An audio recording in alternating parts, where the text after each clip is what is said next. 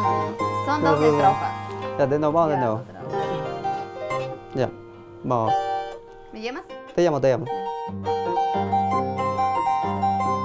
En todos los escenarios, por más pequeño que sea el escenario, tenemos que entregarnos completamente. Si ya estamos ahí, tenemos que concentrarnos, entregarnos completamente para poder tener éxito. Y el éxito de cada uno.